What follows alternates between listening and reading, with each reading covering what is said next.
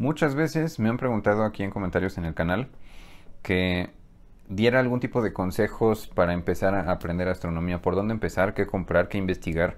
Y muchas veces mi, mi primer consejo es que no compren un telescopio, no compren binoculares, no, no hagan ese tipo de gastos, sino inviertan en libros. Entonces, ese va a ser el tema de este video. ¿Cuáles son cinco de los mejores libros que creo que pueden conseguir para empezar a aprender astronomía? Si les interesa, quédense por aquí.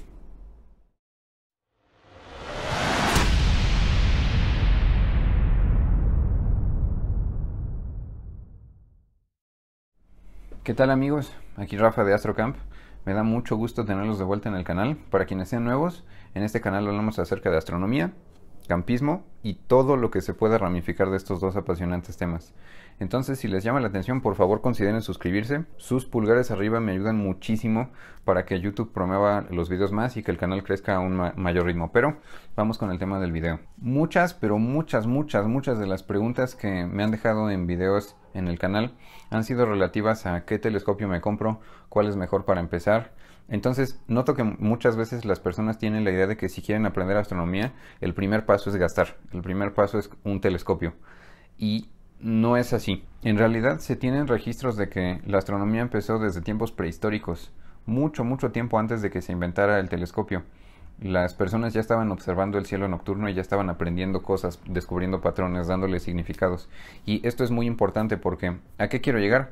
La astronomía realmente la traemos aquí. No depende de que tengamos telescopio o de qué apertura o qué tipo de telescopio.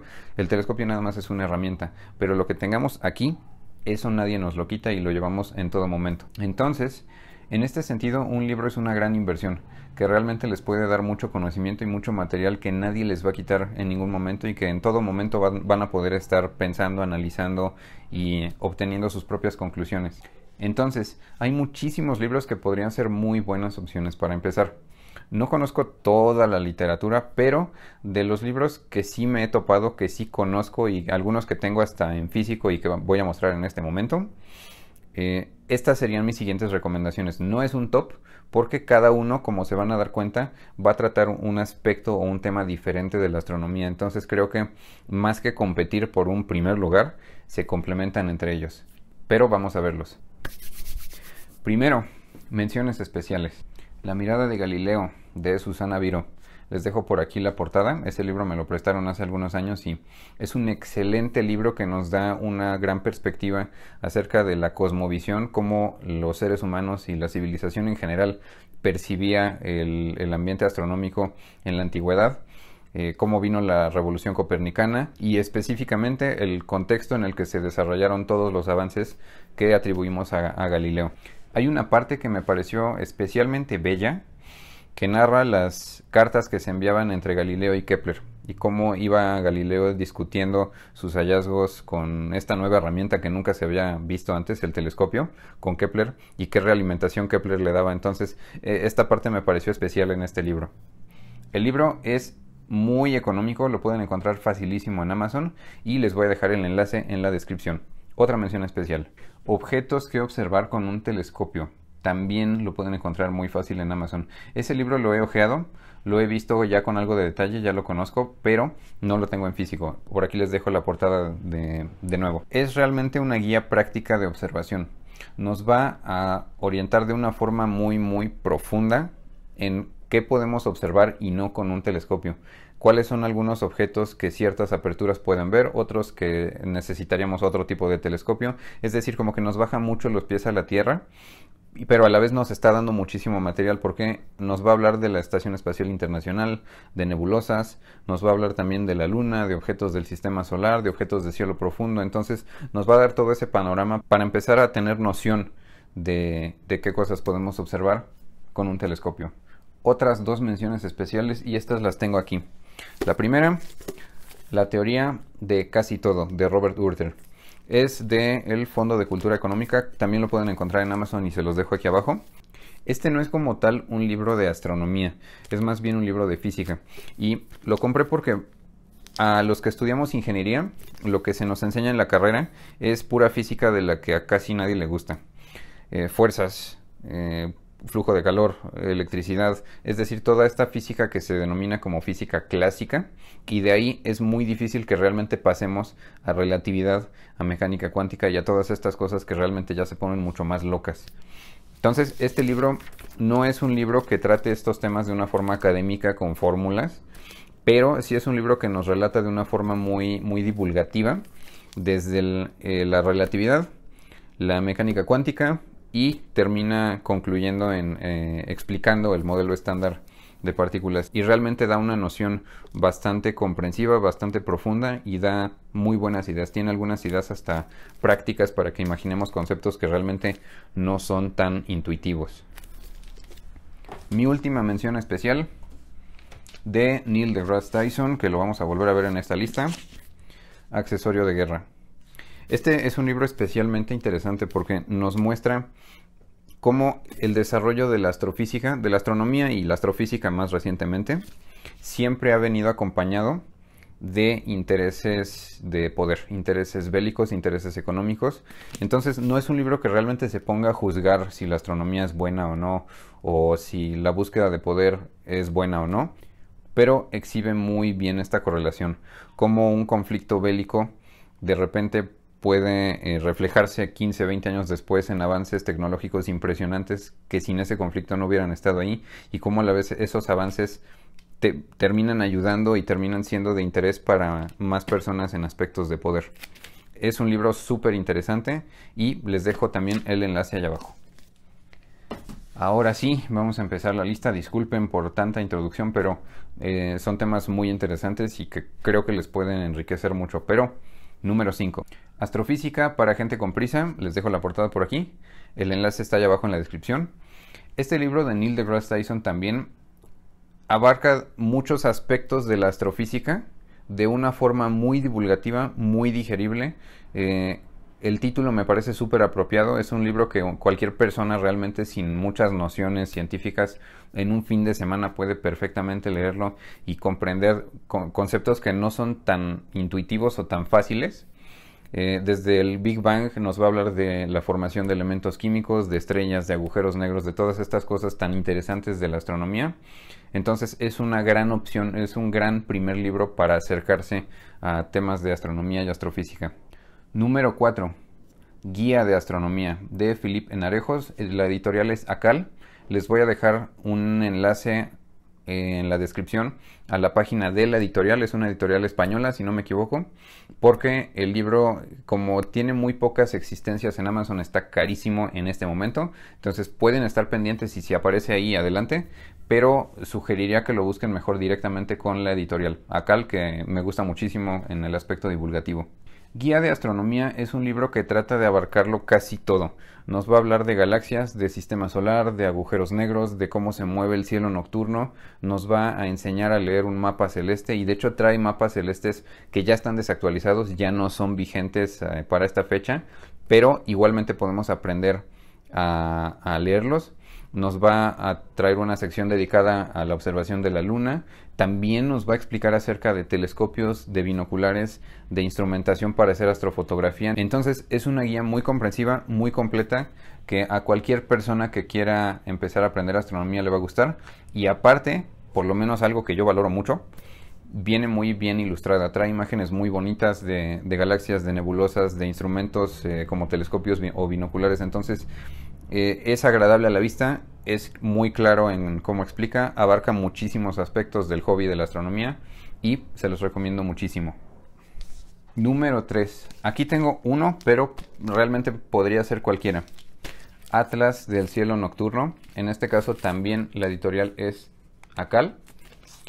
Eh, un Atlas del cielo nocturno me parece una de las mejores inversiones para quien quiera aprender astronomía porque quita toda esa parte automática que una app podría hacer de enseñarnos, de enseñarnos las constelaciones, de ver cómo se llama cada estrella o, ver dónde se sitúan los objetos. Y es, realmente, es literalmente un mapa. Entonces, va a ser una herramienta que nos va a ser de muchísima utilidad si lo que queremos es empezar a buscar nosotros, a conocer la constelación, a saber en qué épocas se pueden ver qué constelaciones, qué objetos de interés, qué galaxias, qué nebulosas, qué cúmulos estelares están en, ciertas eh, constelaciones. Y les voy a mostrar este en específico que trae. Trae, como les voy a mostrar aquí, trae mapas del, mapas del cielo nocturno con sus respectivas coordenadas celestes. Trae también toda una sección que abarca las 88 constelaciones. Entonces voy a ponerles alguna, alguna más o menos conocida. Draco, por ejemplo, en, en el hemisferio norte, nos relata un poco acerca de la constelación, cuáles son los principales objetos que se pueden ver ahí y obviamente su respectivo mapa, mapa celeste. También trae ilustraciones muy muy bien hechas. Por ejemplo, Aquí en Fornax trae las imágenes de campo profundo. Entonces son imágenes, son imágenes muy atractivas a la vista. Y otra cosa que me encantó de esta guía y que creo que fue una de las principales razones por las, por las que la adquirí son los mapas lunares. Cuando queremos hacer observación con un telescopio, la luna es uno de los principales objetos más fáciles de observar y trae toda una sección dedicada a partes de la Luna. Entonces nos dice cómo se llaman los cráteres, cómo son... Ah, creo que por ahí lo pueden ver. Nos dice cómo se llaman los cráteres, cómo se llaman las diferentes regiones que podemos observar en la Luna, nombres de los cráteres, nombres de, fallas, de diferentes montes, eh, de los mares también. Espero que se pueda ver bien aquí. Entonces es un libro práctico, pero realmente cualquier atlas de cielo nocturno que venga bien, bien ilustrado les puede ayudar con, ese, con esa labor, con esa práctica de observar el cielo nocturno y tratar de conocerlo sin automatizarlo todo con el teléfono. Número 2. Aquí voy a hacer trampa y les voy a poner cualquiera que te llame la atención. ¿A qué me refiero? Si van, pasan por un puesto de revistas o de periódicos y notan algo relativo a temas astronómicos que les llama la atención. Eh, creo que es una práctica muy sana hacernos de este tipo de material. Muchas veces trae cosas, traen cosas que no esperamos aprender, pero los aprendizajes inesperados a veces son muchos de los más valiosos. Entonces así me he hecho de varios, eh, de varias antologías de artículos de astronomía, revistas también tengo y también otro par de libros que me gustaría mostrarles que caen en esta misma rama, simplemente me llamaron la atención, los compré y, terminé aprendiendo cosas que no esperaba, pero simplemente fue como por seguir la curiosidad. Fue esta guía de astronáutica, también de editorial Acal, con prólogo de Edwin Voss Aldrin. Está excelente esta guía de astronáutica para quienes les gusten los temas de exploración espacial. Como pueden ver, todo el desarrollo de los primeros cohetes a finales del siglo XIX, inicios del siglo XX, obviamente eh, viene muy, muy enfocado en la carrera para llegar a la Luna. Eh, es e, excelente este libro. Otro que compré un poco más básico en cuanto a, a, conceptos o conocimientos, pero está hermosamente ilustrado. Tal vez es un libro más como para adolescentes o niños, pero a mí me encantó esta guía visual definitiva de los planetas del sistema solar. Es un libro que nos ilustra procesos del sistema solar, procesos planetarios, procesos satelitales como de la luna de, con la Tierra, las lunas de Marte. Eh, está dedicado casi en su totalidad al sistema solar. Entonces, les estoy buscando alguna de las muchas imágenes muy, muy bonitas que tiene. Por ejemplo, Trae una parte dedicada solamente al Monte Olimpo, el volcán más grande de todo el sistema solar, un chichón que se encuentra en la superficie de Marte. Otra sección muy bonita dedicada a los anillos de Saturno, cómo se denominan sus secciones, de qué están compuestos, qué procesos pudieron haberlos formado. Eh, es una guía visual que está muy enfocada en las imágenes, pero creo que ese es su fuerte. Entonces, cualquier tipo de publicación así que les llame la atención y que ustedes decidan seguir, adquirir el material, abrir el libro, ver la revista o simplemente ojearlo, eh, me parece que es una de las prácticas más enriquecedoras para aprender astronomía. Número 1. Esta no va a ser una sorpresa para absolutamente nadie, pero vamos con ello. No hay mucho que decir respecto de este libro que no se haya dicho ya, eh, que no se conozca ya. Cosmos, de Carl Sagan, el original. Carl Sagan es el científico más vendido en toda la historia, pero esto no es por temas de éxito de marketing. Realmente tiene mucho mérito lo que Carl empezó a hacer y que afortunadamente muchos científicos han continuado haciendo. Este libro lo que hace es juntar mucho de astronomía, mucho de física, pero para dar una perspectiva, una perspectiva como ser humano. Entonces nos va a hablar de astronomía, pero también nos va a hablar de tiempos históricos, de cómo el conocimiento astronómico se fue desarrollando junto con la humanidad y cómo se fueron retroalimentando unos con otros. Entonces nos da una perspectiva que muchos libros que solamente están enfocados en los agujeros negros, en la gravedad, en, cosas más físicas, no se toman la molestia de hacerlo. Cosmos creo que realmente es un libro que cualquier persona que sienta algún tipo de afinidad con la astronomía debe por lo menos de, de leer una o dos veces en su vida. En mi caso lo encontré en la biblioteca de la universidad y eh, ese libro ya tiene varios sellos de que fue prestado porque yo lo saqué y lo leí con muchísima calma y realmente es un libro muy enriquecedor que por lo menos hay que conocer.